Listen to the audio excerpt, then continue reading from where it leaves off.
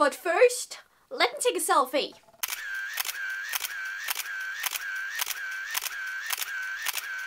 Alle sammen, og velkommen tilbage hertil, eller velkommen til, hvis du er ny. Hvis du er ny, så gå ned og tryk abonner nedenunder. Det koster ingenting. Det er helt gratis, så helt klart gå ned og gør det, så vi vil se hinanden igen snart. Videoen i dag kommer til at være 30 facts om mig, altså 30 forskellige faktaer om mig. Nogle af dem er sjovere end andre, andre er mere deprimerende end andre, men øh, jeg kommer ikke til at gå i dybden med nogle af dem her, fordi at det har jeg ikke tid til, hvis det er sådan 30 facts om mig. Så vi må hellere bare se at komme ind i den her video, for vi har lidt travlt. 30 facts om mig. Er I klar? Er I klar? Er I klar? Uh, what? Lad os bare komme i den her video. Nu! Jeg er 16 år gammel. Jeg er 61 cm høj, så jeg er sådan virkelig, virkelig lav. Jeg var også en af de laveste i min klasse. Hvis ikke den laveste. Jeg bor i plejefamilie og har gjort det i 8 år. Jeg er en springgymnast. Jeg elsker at lave saltorer, dobbeltsaltorer, flik og alt det der at springe på trampolin og bane. Jeg elsker bare at være springgymnast egentlig. Og så er jeg også Bornholmsmester i håndgang. Jeg har fået sådan en cool t-shirt, hvor der står sådan Bornholms håndgangsmester, og det har jeg fået to gange, fordi jeg har vundet to år i træk. Jeg skal gå på efterskole næste år, og jeg skal gå på NE, hvilket er en en efterskole på Nordsjælland, og jeg glæder mig super duper meget. Jeg har en storebror, som hedder Philip, så har jeg en plejestorebror, som hedder Michael, og så har jeg to pleje storesøstre, og den ene hedder Sine, og den anden hedder Mette. Jeg elsker ost. Hvis du ikke allerede har opdaget det, så er jeg addicted to unicorns. Like, jeg kan ikke få nok af unicorns. Jeg har sådan alt for mange unicorns inde på mit værelse, og jeg har den her gigantiske unicorn, og jeg har tøj med unicorns, og jeg er bare sådan, jeg er forelsket. Mine yndlingsfarver er sådan babylyserød, turkis og guld. Min livret, det er moussaka, og det er basically lasagne, bare med kartofler og auberginer i stedet for lasagneplader. Jeg har alt for mange bikinier. Jeg har overdrevet alt for mange. Jeg har flere, end hvad jeg nogensinde får brug for. Jeg har til, at jeg kan skifte hver dag i et år.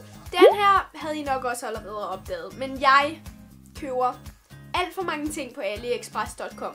Seriøst, jeg bruger alle mine penge på AliExpress. Mit yndlingstal er og har altid været 12. Jeg har tre katte hos min mor, og den ene hedder Garfield, den anden hedder Fute, og den sidste hedder Møller. Jeg har lige været oppe i nogle forskellige prøver og sådan noget, og jeg er virkelig taknemmelig for de karakterer, jeg har fået. I de mundtlige fag har jeg fået 12, 12, 12 og 10, og jeg har virkelig været glad for de karakterer. Næsten hver dag spiser jeg en liter yoghurt, eller yoghurtskyr, eller en liter skyr til morgenmad.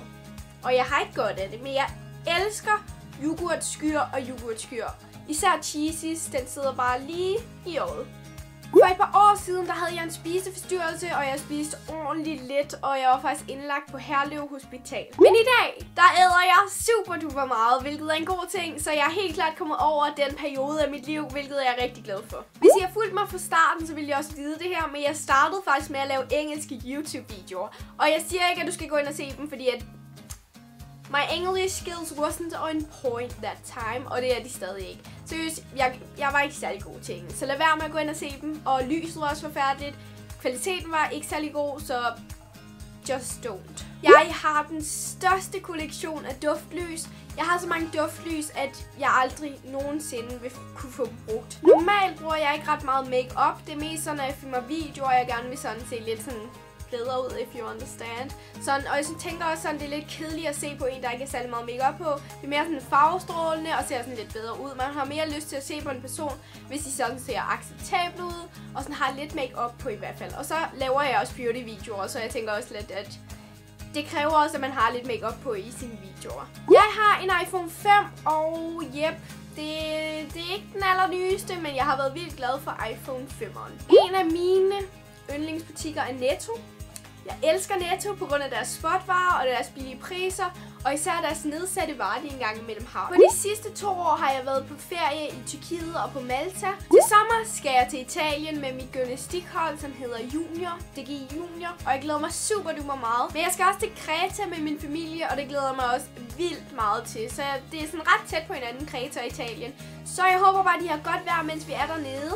Så jeg glæder mig bare så psyko meget.